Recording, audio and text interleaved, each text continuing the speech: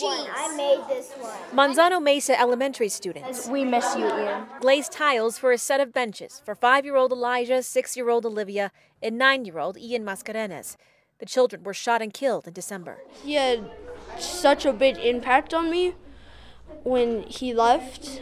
I, it was just heartbreaking for all of us. Ian's fourth grade classmates are making things they know the little boy loved. I choose to make pizza because Ian really loved pizza. He loved baseball so much.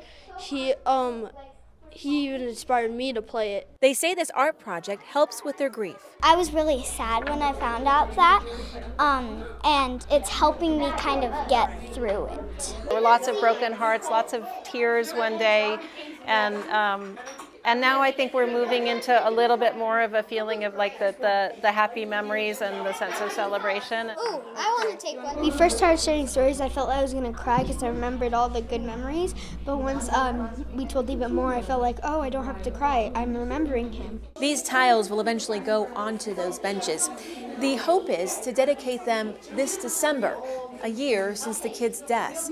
But they need more money to finish the project. How's that? Organizers need about $25,000. These kids hoping they'll be able to show the memorials to future students. They'll say, hey, what's this bench for? And we'll tell about it. And even though it might make us sad, it's still remembering him. In Albuquerque, Royale Da, KOAT, Action 7 News.